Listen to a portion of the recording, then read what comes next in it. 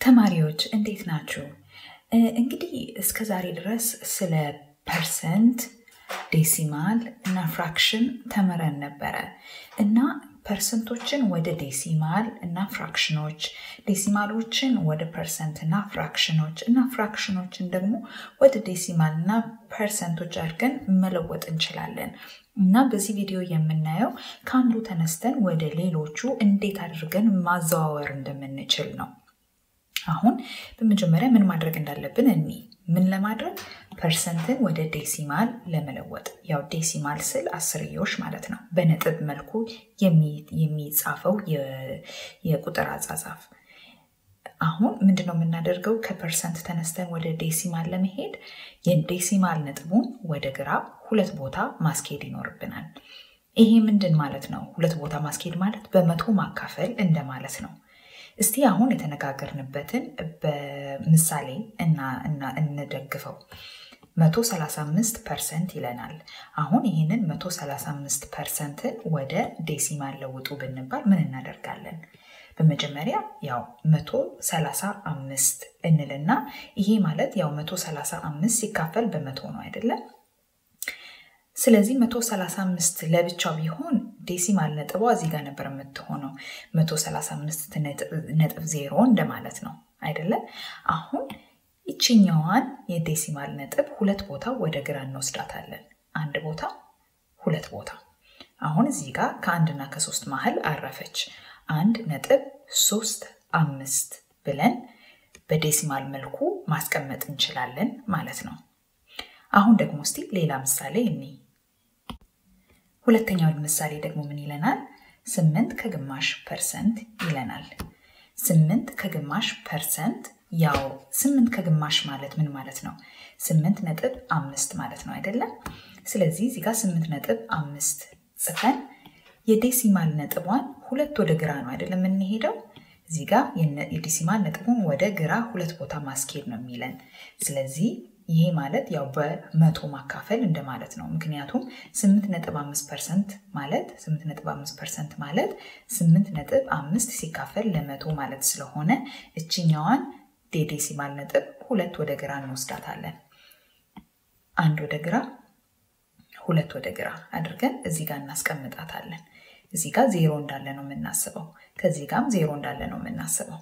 ስለዚህ በ decimal መልኩ ሲጻፍ ዜሮ ነጥብ ዜሮ ስምንት አምስት ይሆናል ማለት ነው። እስቲ አሁንም ሌላ ምሳሌ እኔ ይህ ምሳሌ ደግሞ ምንድን ነው? ዘጠና ስድስት percent ነው። ዘጠና ስድስት percent ያው ዘጠና ስድስት ሲካፈል በመቶ ማለት እንደሆነ ይታወቃል። አንድን ነገር በመቶ ስናካፍልና ወደ ዴሲማል ስንለውጠው የዴሲማል ነጥቧን ለወደ ግራ ሁለት ቦታ እንወስዳታለን ብለናል። እንግዲህ 96 ነጥብ ዜሮ እንደማለት ነው 96።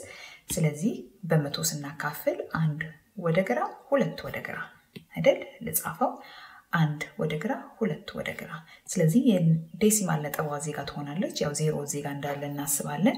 ዜሮ ነጥብ ዘጠኝ ስድስት ሆነ ማለት ነው። አሁን ደግሞ የምናየው ምንድን ነው?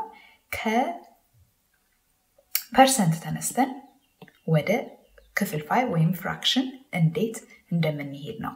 እንግዲህ የ decimal ኦቹን አይተናል። አሁን ደግሞ ይሄንኑ percent ወደ fraction ለመለወጥ እንሞክር።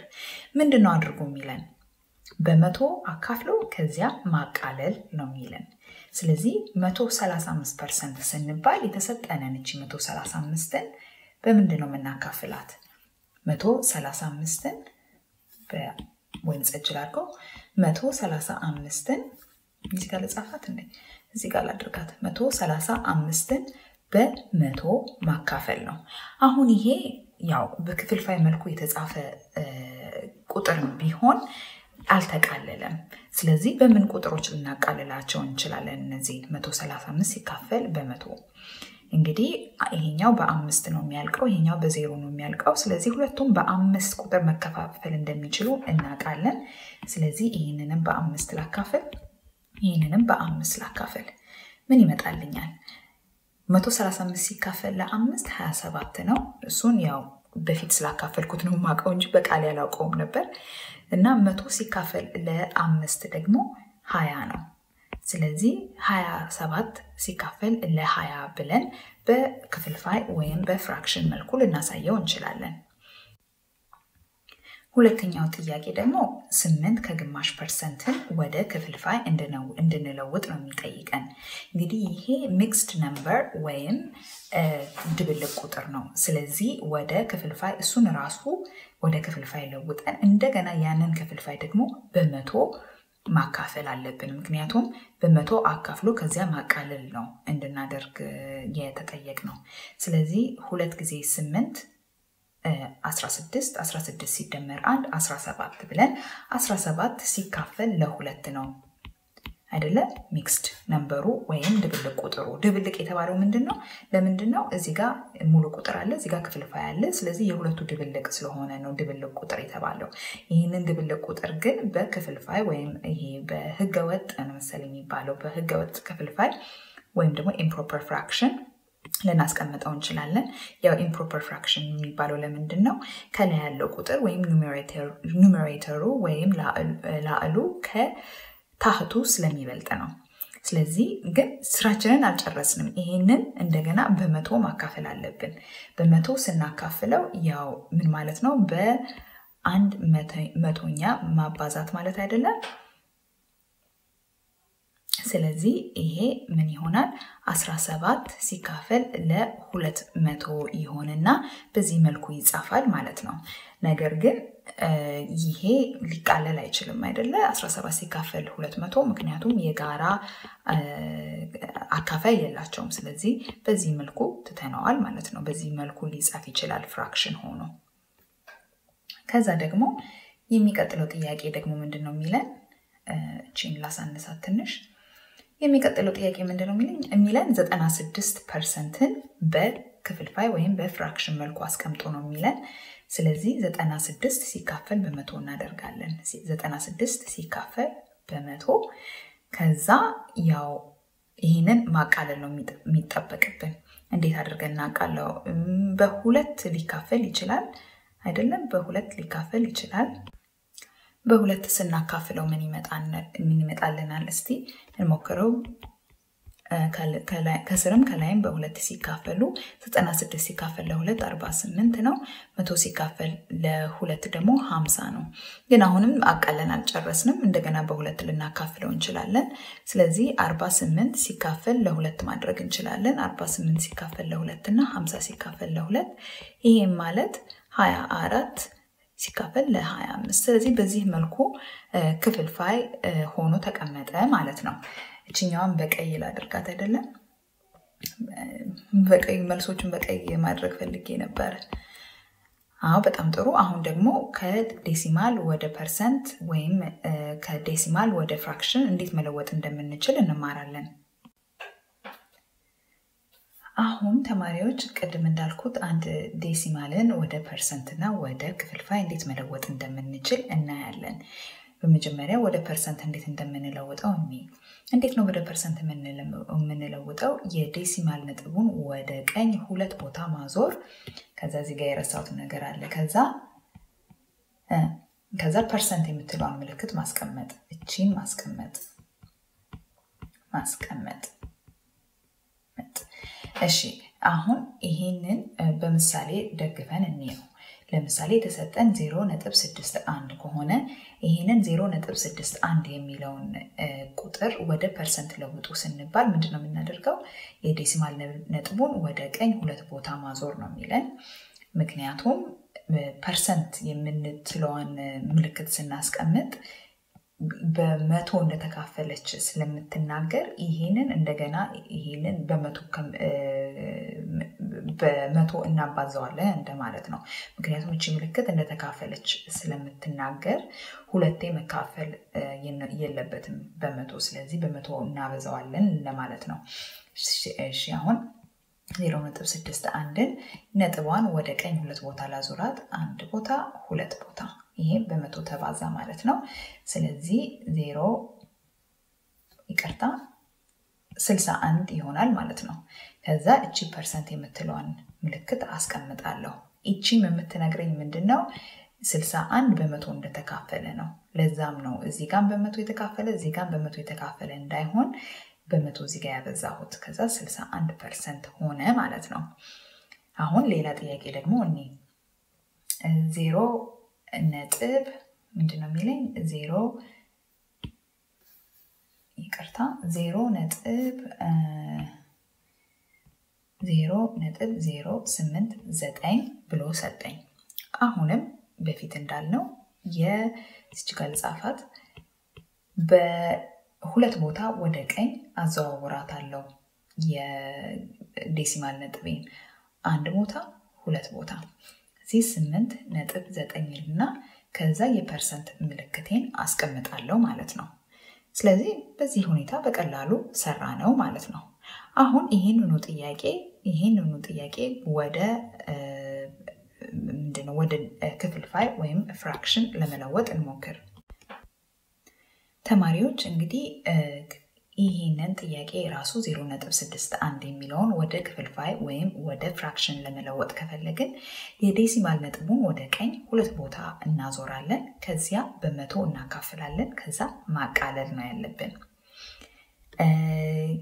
አሁን በመጀመሪያ ይህንን የሚጠይቅ ይህንን በዚህ ሁኔታ ስር ያለ ጥያቄ ላይ ስላልደረስን በዚች መሰረት እንስራው ጥያቄውን 0.61ን በመጀመሪያ እንደተባልነው 0.61ን ወደ ግራ ሁለት ቦታ ነጥቧን እናዘዋውራለን። አንድ ሁለት፣ ከዛ እሷ ወደ 61 ትቀየራለች። ያው ግን 61 ሲካፈል በመቶ ማድረግ አለብን። ከዛ በመቶ አካፍሎ ስላለን ከዚያም አቃሉ ነው የተባልነው ግን 61 እና መቶ የጋራ አካፋይ ነው የሚባል አይደል? የጋራ አካፋይ የላቸውም። 61 prime number ናት።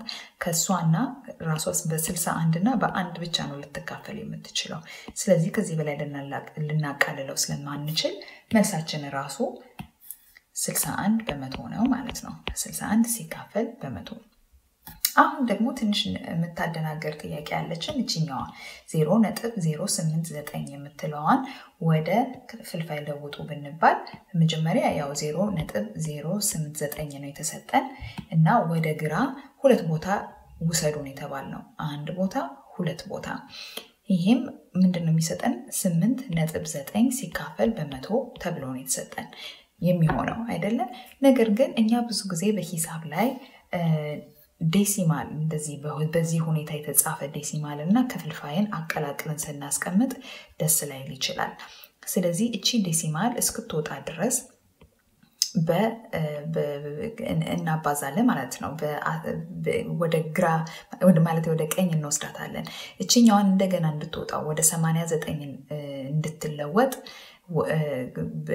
በአስር ማባዛት ማለት ነው አይደለ? ስለዚህ እችኛዋን በአስር ካባዛን እችኛዋንም በአስር ማባዛት አለብን። ማለትም ላዕሉን ወይም ኒውመሬተሩን በአስር ካባዛን ታህቱን ወይም ዲኖሚኔተሩንም በአስር ማባዛት ይኖርብናል። ስለዚህ የሚመጣልን ቁጥር 89 በመቶ ሳይሆን በሺ ይሆናል ማለት ነው። እናም ከዚህ በላይ ልናቃልለው ስለማንችል በዚህ ሁኔታ ልንተወው እንችላለን። ምክንያቱም 89 prime number ነው። ከራሱና ከ89 በላይ ሌላ አካፋይ የለውም። ስለዚህ በዚህ ሁኔታ እንጽፈዋለን ማለት ነው። እና ይህም የሚያስረዳው እሱን ነው። የዴሲማል ነጥቡ ወደ ቀኝ ሁለት ቦታም ተዘዋውሮ ሙሉ ቁጥር ካልሆነ ሙሉ ቁጥር እስኪሆን ድረስ ማዘዋወር እዚህ ጋር እንዳደረግ ነው ማለት ነው። ከዚያም በዛ ልክም መቶ ላይ ዜሮ እየጨመሩ ወደ ሺህ አስር ሺህ መቀየር ማለት ነው። በዚህ ጊዜ ላይ ግን ያው አንድ ዜሮ ነው የጨመርነው፣ ምክንያቱም አንድ ቦታ ነው ያዘዋወር ነው ማለት ነው። ይህም ማለት ያው ቅድም እንዳልኩት በዚህ ይህንንም በአስር ማባዛት ይህንንም በአስር ማባዛት ማለት ነው። ያው እንዲቀለን ነው ዜሮ መጨመር ምናምን ያልኩት። ተማሪዎች አሁን ደግሞ ክፍልፋይን ወይም fraction ን ወደ decimal ወይም አስረኞች አስርዮሽ እና ደግሞ ወደ percent እንዴት መለወጥ እንዳለብን እንማራለን። አንድ fraction ን ወይም ክፍልፋይን ወደ decimal ለመለወጥ ከፈለግን ላዕሉን በታህቱ ማካፈል ወይም ደግሞ numerator ኡን በ denominator ኡ ማካፈል ይቀለናል ማለት ነው። አሁን ምሳሌዎችን ማየት እንችላለን። ለምሳሌ ሰባ ስድስት አወፈርኩት አይደል? ሰባ ስድስት አስር እንደዚህ አይነት ክፍልፋይ ቢሰጠን እና ወደ ዴሲማል ለውጡት ብንባል ቀጥታ እንደተባልነው ሰባ ስድስትን በአስር ማካፈል ነው ይኖርብናል ማለት ነው። ይህም ምን ይሆናል? ሰባት ነጥብ ስድስት ይሆናል ማለት ነው። ወይም መልሴን በቀይ የጻፍኩ ነበረ። ሰባት ነጥብ ስድስት ይሆናል ማለት ነው። ሰባ ስድስት ሲካፈል ለአስር። አሁን ደግሞ ሌላ ሌላ ምሳሌ እኒ ይህ ምሳሌ ደግሞ ምንድን ነው የሚለን ሀያ ሶስት በሀያ አምስት ይህንን ወደ ዴሲማል ወይም አስርዮሽ ለውጡ ከተባለ ያው ላዕሉን በታህቱ አካፍሉን የተባልነው እኔ ከዚህ በፊት ስላካፈልኩት እዚሁ ዝም ብዬ መልሱ መጽፈዋለው ዜሮ ነጥብ ዘጠኝ ሁለት ይሆናል ማለት ነው። 23 ሲካፈል ለ25 አሁን ደግሞ የምንሰራው ጥያቄ እነዚህን ክፍልፋዮች እነዚህን ክፍልፋዮች ወደ percent መለወጥ ነው እና ሁለት አይነት ስልቶች ሊኖሩ ይችላሉ። ሁለቱም ሁለቱንም ቀስ ብለን እናያለን ማለት ነው። እንግዲህ ይህንን ጥያቄ ስንሰራ የመጀመሪያው ስልት ምንድን ነው? ላዕሉን በታህቱ ማካፈል ከዛ የ decimal ነጥቡን ወደ ቀኝ ሁለት ቦታ ወስዶ ከዛ እቺ percent የምትለዋን ምልክት ማስቀመጥ ነው የሚለን። በዚሁ መሰረት ሰባ ስድስት በአስር የሚለውን በመጀመሪያ ላዕሉን ወደ በታህቱ ስናካፍል ያው ቅድም እንዳየነው ወደ ዴሲማል ስንለውጥ ሰባት ነጥብ አምስት ሰባት ነጥብ ስድስት ነው የሚመጣው። ከዛ ይሄኛውን የዴሲማል ነጥቡን ደግሞ ወደ ቀኝ ሁለት ቦታ ውሰዱን የተባል ነው። ስለዚህ ሁለት ቦታ ስንወስደው እዚህ ጋር አንድ እዚህ ጋር ሁለት አይደል? ስለዚህ ሰባት መቶ ስልሳ ይሆናል። ከዛ የ percent ምልክቷን አስቀምጦ ነው የተባልነው። በዚህ ሁኔታ እናስቀምጠዋለን ማለት ነው። ሁለተኛ ስልት ደግሞ አለ። ሁለተኛው ስልት ደግሞ ምንድን ነው የሚለን ጥያቄው እንደገና ልድገመውና ሰባ ስድስት በአስር የሚለውን ሁለተኛው ስልትን ምንድን ነው የሚለን ታህቱን ወይም denominator ኡን ወደ መቶ መቀየር ከዛ በተባዛበት ቁጥር ላዕሉንም ማባዛት ይለናል እንግዲህ እንግዲህ በዚህ ሁኔታ ከሆነ ይቺን አስርን ወደ መቶ ለመቀየር በአስር ነው የምናበዛው። ስለዚህ ላዕሏን ወይም ደግሞ ኒውሜሬተሯንም በአስር ማብዛት አለብን። በዚህ ሰዓት ሰባ 760 በመቶ ይሆናል። ስለዚህ ይሄ ማለት ያዎችን እናስወግድና 760 percent ይሆናል አይደለ? ያው የ percent ምልክቷን ማስቀመጥ ለማለት ነው። ማስቀመጥ ልበላት፣ ማስቀመጥ ያው መቶን አውጥቶ ማለት ነው። አሁን ደግሞ ሌላ ጥያቄ እንስራ። ይሄኛው ጥያቄ ደግሞ ምንድን ነው የሚለን? ከፍል አድርገው ትንሽ ይሄኛው ደግሞ 23 በ25 የሚለውን ወደ ክፍልፋይ እንድንለውጥ ነው የሚጠይቀን። ስለዚህ 23 በ25ን እዚህ ጋር ልጻፍ። አሁን የመጀመሪያው ስልት አለ አይደለ? የመጀመሪያው ስልት ምንድን ነበር የሚለን? የመጀመሪያው ስልት የ decimal ታህቱን ላዕሉን በታህቱ ማካፈል ከዛ የ decimal ነጥቡን ወደ ቀኝ ሁለት ቦታ ወስዶ ከዚያ percent የምትለዋን ምልክት ማስቀመጥ ነበር የሚለን። ግን ይሄኛው ትንሽ ይሻለናል፣ ሁለተኛው ስልት። ምክንያቱም ሀያ አምስት በቀላሉ ወደ መቶ ለመቀየር ትችላለች። በምን ተባዝታ? በአራት ተባዝታ። ስለዚህ የመጀመሪያውን ትተን ዝም ብለን የሁለተኛውን እንሞክር። በአራት ነው የምትባዛው። በአራት ላዕሏንም ወይም ኒውሜሬተሯንም ማባዛት ይኖርብናል። እቺ 25 በአራት ስትባዛ ወደ መቶ ትቀየራለች። ከዛ 23 ሲባዛ በአራት ነው የሚቀረን። 23 ሲባዛ በአራት ስንት ነው?